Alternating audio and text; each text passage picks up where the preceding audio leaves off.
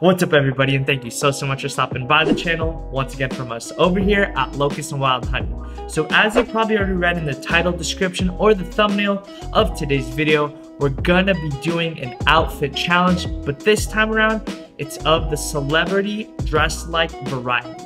The concept of this series is to acquire the celebrity look at a fraction of the price because when it comes down to it, spending all this money on designer things is just not practical. Furthermore, I just think it'll be a lot more fun to try to acquire this look at a fraction of the price by accessible means. And what I mean by that is just going to the mall or just going online and having this stuff readily available. If you guys like the content of this series, make sure you hit the thumbs up button as it lets me know to keep the series going. And also feel free to comment down below people you'd like to see me do. The celebrities with a lot of votes down there or like that's mentioned time and time again will definitely get a video. Last thing, I have to give credit where it's due. Shout out to my good friend Harrison Nevel. I know that he used to do these types of videos back in the day. I will have a link to his channel down below, so be sure to check it out. And without further ado, let's go ahead to the mall and see if we can acquire the Ian Connor look.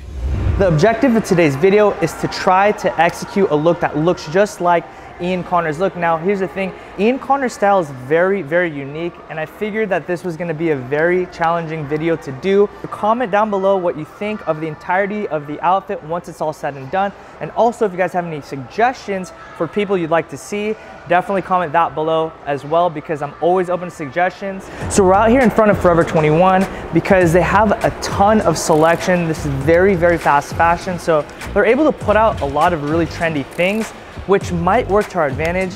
Not to mention the prices are very, very low. As always, guys, whatever I find, I will link in the description below. So let's go ahead and see what they have inside. Let's go. So one of my favorite things about Forever 21 is the great pricing. I just found this outerwear piece. It's really nice, got nylon inside. Uh, feels like it's filled with cotton, which is really nice because it'll keep you warm. I know it kind of goes with my outfit too a little bit.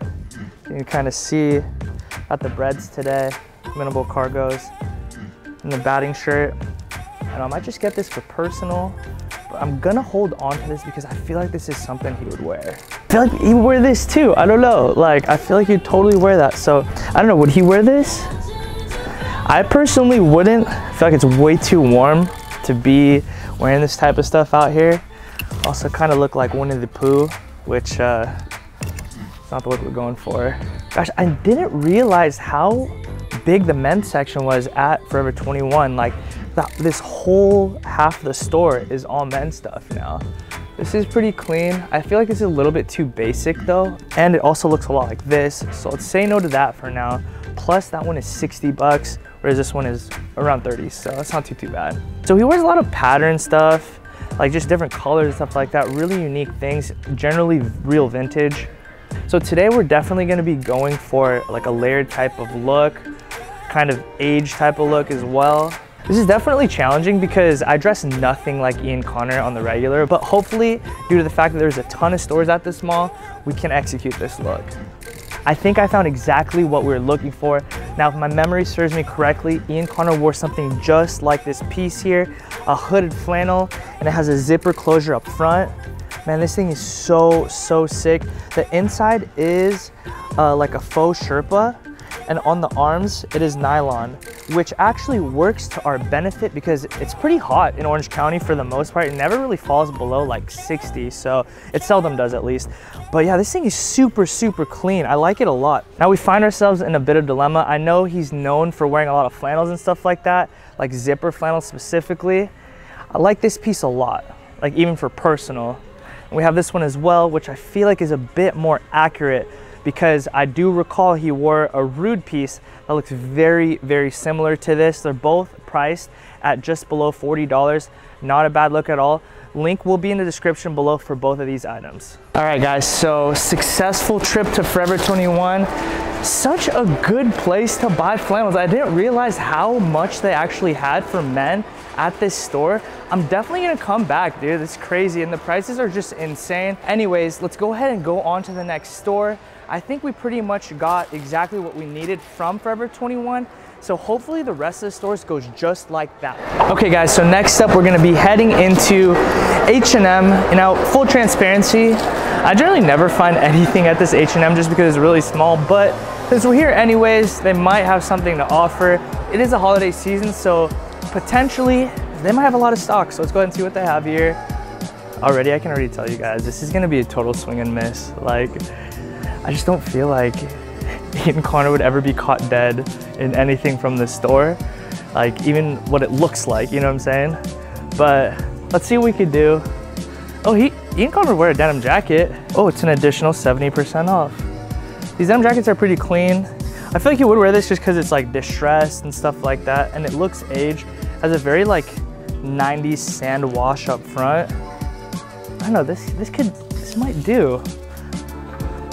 I think we might have a potential candidate for today's outfit. I know he loves to wear cargo pants. I feel like he's been wearing cargo a ton lately. Ah, every time I see these, so nostalgic, the good old fog days. I know I said this in the last H&M uh, outfit challenge video, but man, how clutch were these back in the day when you couldn't afford Fear God 4th or you just couldn't find it head over to H&M, get these for 20 bucks. Insane, insane steal. I know also for a second people were reselling them. And I saw people in the comment section say that they actually paid resell for those. They paid like 100 bucks, which is nuts. Now they're just sitting here at H&M. Man, how time flies. Just nothing for today's outfit. I think we're gonna go to one last place, which is PacSun. They have a ton of good stuff over there. And and hopefully we can find something good. I feel like this outfit has been somewhat successful to some degree, apart from that slight mishap back at H&M. But I feel like, yeah, PacSun should be able to top us off right. All right, guys, so due to unforeseen circumstances, we have to leave the mall now. Not because we're getting kicked out or anything, but because PacSun actually won't let me film in store. In fact, the manager said I couldn't shop there, which is crazy. I don't know what's going on with that, but not to fret because I think we have enough things to make this outfit work out. I do recall a pair of minimal pants that will probably work perfectly for this outfit. So with all that being said, let's go ahead and head over to the house and see if I can recreate this outfit. Okay, so jumping into the first piece of the outfit, I actually bought this independent of today's video. I bought it on eBay for about $8. It just simultaneously showed up today. So super lucky to be able to use this. Next up for the bottoms, this was actually supposed to be a part of my next minimal haul, but I figured that these will work perfect for today's outfit. So I'll just use them today. Um, I did go for a size small in the classic cargo pants. Uh, canvas, super, super nice quality. I have to say guys, I am a huge fan of the way Minimalist cargos fit.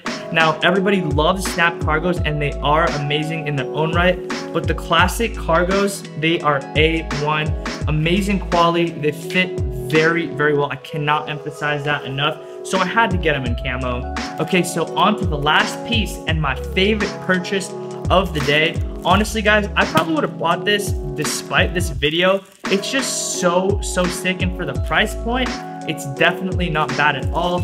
Um, you guys might have been able to guess what it is because I did like really, really like it in the store. But here it is. Um, for $39.99, I purchased this flannel shacket. You guys know I love these things. Honestly, everything about this shacket has left me pleasantly surprised. The quality, the build, uh, the construction, just everything about it. I really, really love this thing and it's from Forever 21, which I can't say I've said a lot. Um, as you can see here, it does have a very smooth, nice zipper. Inside, it has Sherpa, or what feels like Sherpa. Uh, inside the arms, it is nylon quilt. Um, I really do like this thing a lot. Obviously, the pattern is super, super sick.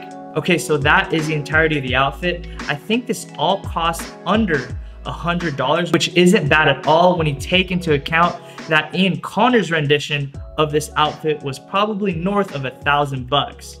Is this a legitimate alternative to Ian Connor's outfit?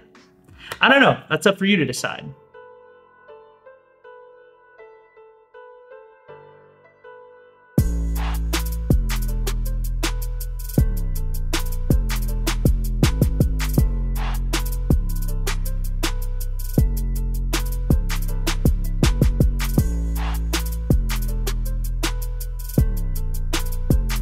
All right, guys, so that is gonna do it for today's outfit challenge. Make sure to comment down below who you'd like to see next. Leave a like if you do like the idea of this series. And lastly, rank this outfit in terms of accuracy. Full transparency, I will probably never, ever, ever think to wear this combination altogether.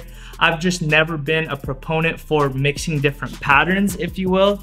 Uh, just a little loud for me, but certain people can definitely pull it off. I just happen not to be one of them. With all that being said, guys, thank you so much for stopping by the channel. As always, it is a major privilege of mine to get to make these videos for you. So thank you guys for the support and always coming back to the channel. It really means a lot. And as end every video here at Locust Wild Honey, I'm gonna say peace and be blessed.